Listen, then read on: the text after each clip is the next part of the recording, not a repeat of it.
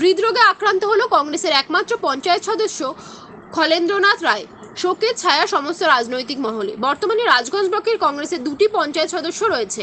বিন্নাগুড়ি গ্রাম পঞ্চায়েতে একমাত্র পঞ্চায়েত সদস্য কংগ্রেসের পক্ষ থেকে ছিলেন খলেন্দ্রনাথ রায়। কিছুদিন ধরে অসুস্থ থাকার কারণে বাড়িতেই থাকত। গতকাল রাতে হৃদরোগে আক্রান্ত হয়ে মৃত্যু হয় তার নিজের বাসভবনে। তার মৃত্যুর খবর ছড়িয়ে পড়তে ভিড় জমায় সমস্ত রাজনৈতিক নেতারা। খবর পেয়ে ছুটে আসে রাজগঞ্জ বিধায়ক খগেশ্বর রায়। ফুল দিয়ে শ্রদ্ধা জানান। বিধায়ক খগেশ্বর রায় জানায়, আমি এসছি বিন্নাগুড়ি অঞ্চলের আমাদের কংগ্রেসের একজন পঞ্চায়েত খলেন রায় বহুদিন থেকে আজকে তিরিশ তিরিশ পঁয়ত্রিশ বছর থেকে তার সঙ্গে আমার পরিচয়। হঠাৎ আমি পনেরো আটটায় আমি খবর পাই যে হঠাৎ শ্রেষ্ঠ হয়ে মারা গেছে। আমার বহুদিন বন্ধু কাম মানে ছেলেবেলার বন্ধু, এবং সে বল খেলা, এত বল খেলতো। প্লাস যে তিন, চারবার কংগ্রেসের পঞ্চায়েত আছে।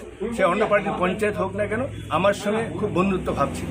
এবং খবরটা শোনার পরেই আমি সাথে সাথে থাকতে আর পারলাম না না দেখাটা করে আসি।